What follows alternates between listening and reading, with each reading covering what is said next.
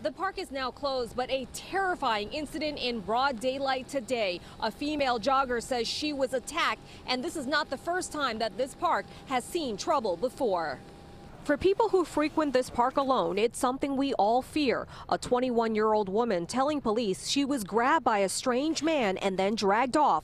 The female was jogging southbound on the Bridle Trail south of the pedestrian bridge here at Hempstead Lake State Park. It happened mid morning today. That scares me.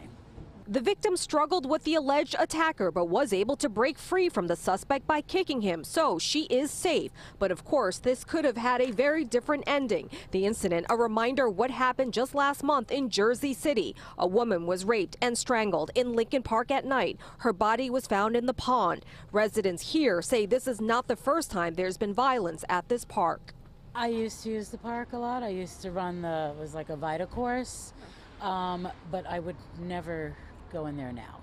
I think that uh, the area has gotten worse. You know, it's Hempstead adjacent. I think there's increased gang activity. Neighbors believe there's been an uptick in gang activity here, and in the summer of 2016, a large fight broke out involving a group of teenagers. Multiple arrests were made in that case.